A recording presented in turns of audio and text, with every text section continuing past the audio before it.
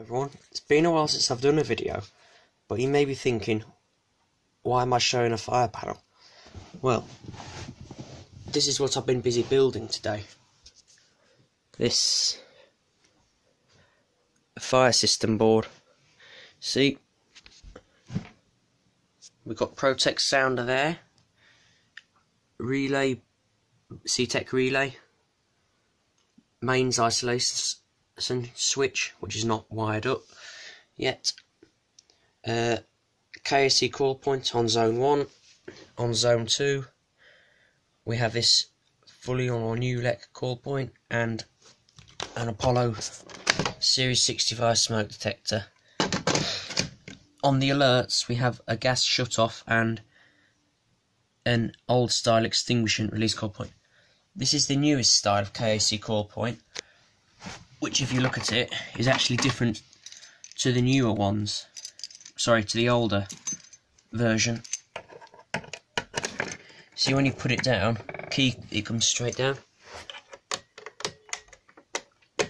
This one comes down like that. See this one doesn't go up. I'll do a detailed video of that and just for those who are curious this is inside the panel.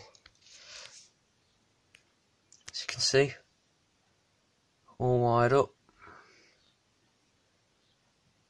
It does all work I'm sure anyway. Anyway another addition to my collection is this one.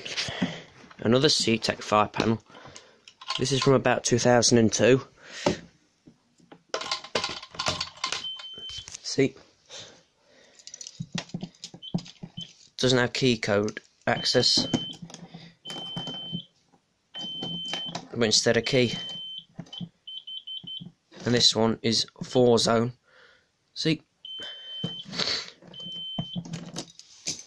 It doesn't have any parts in it, such as the end of line resistors, because they're all in here, as you can see, in the smoke detector that capacitor there. Right, if you want to see system test videos of this system, be sure to comment, like and subscribe. Get this video to over 5 likes and I will do a system test.